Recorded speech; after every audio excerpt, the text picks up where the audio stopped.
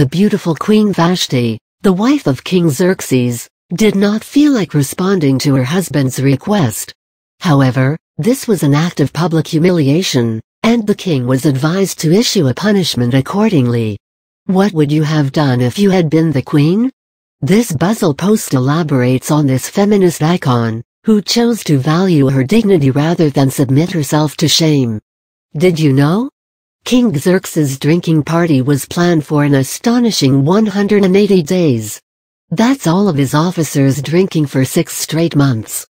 Purim is a Jewish holiday celebrated on the 14th day of the Hebrew month of Adar. This festive day signifies the deliverance of the Jewish people in the Persian Empire. This event is recorded in the Book of Esther, and hence, this book is read on this day. This book was recorded in a scroll, and the text was then recorded into other books and also into the Old Testament of the Bible.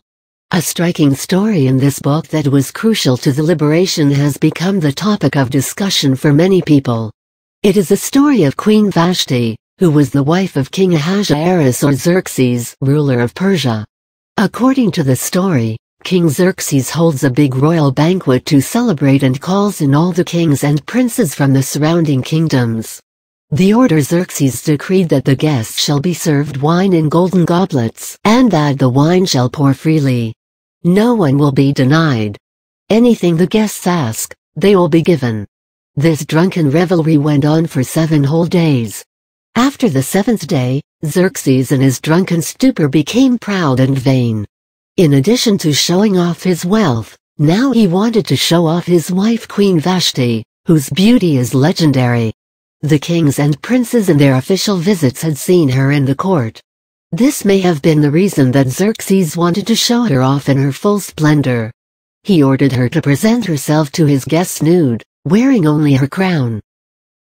King Xerxes at the banquet with other kings, after having been refused by Queen Vashti when the messengers reached the queen with the order, she refused to leave her quarters. This enraged Xerxes. He then consulted with his advisors and the other respected kings in his company, asking them what he should do with Vashti. They advised him to make an example of her.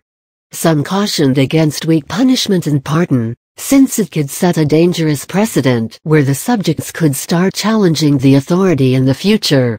Among them, a man named Memucan had this to say to the king, Queen Vashti has done wrong not only against the king, but also against all the nobles and the peoples of all the provinces, he argues, for the queen's conduct will become known to all the women, and so they will despise their husbands.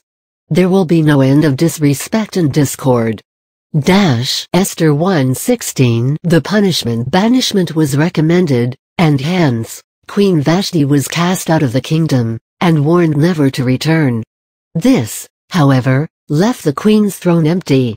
Xerxes launched a countrywide search for a potential successor. He sent his men to the farthest reaches of his kingdom, and they were given special instructions. The girl should be exceptionally beautiful and should be a virgin. The next queen many such women were brought, and Xerxes tested them all, observing who pleased him the most. An orphan named Esther caught his eye, and she became the next queen. She was also responsible for liberating the Jews from Persian lands, being a Jew herself. She kept her identity and history hidden. She had a cousin named Mordecai, who planned the liberation from the start, instructing Esther how to behave and please the king. Analysis The act of disobedience of Vashti has been taken as a story to be studied by many feminists. This story is also widely discussed, and Vashti has come to be one of the most widely discussed heroines in the Bible, almost at par with Mary, Bathsheba, and Martha. Modern church-going women hail the self-respecting attitude of Vashti. She is seen as a woman who doesn't blindly obey her husband. In the story, Xerxes wanted to parade her naked in front of his guests, and keeping in mind that he had also promised them anything and everything, who was to say they wouldn't have asked for Vashti herself. The positive side Vashti shows logic and confidence in the face of grave odds. At that time, even questioning the king's orders was punished with execution. She wanted to protect her dignity and keep her integrity until the end, and this is applauded by women activists. The other side some Orthodox men say that Vashti is a bad example of a woman. She was too proud and vain and hence did not come out of her quarters. They applaud Esther's behavior because she is very docile and compliant. They say that Esther is a better woman. The feminists argue back that Esther only obeyed unquestioningly, because of two reasons, one being that she was instructed by Mordecai to please the king in any way possible, and the second that if she disobeyed after all the ruckus Vashti created, she would be executed without second thought. According to the Old Testament there are also commentaries in the Old Testament stating that Vashti did not come out of her quarters because she had leprosy. Another story states that she was visited by an angel and was punished by growing a tail. Scholars believe that this tail could have been the male reproductive organ, and that could be the reason that Vashti did not want to be paraded nude.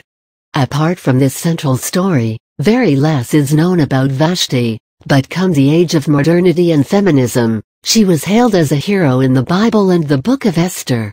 They reasoned that because of her banishment, Esther was made the queen, which in turn resulted in the liberation of the Jews. This makes her and Esther the two heroines that are celebrated in each reading of the book on the holiday of Purim.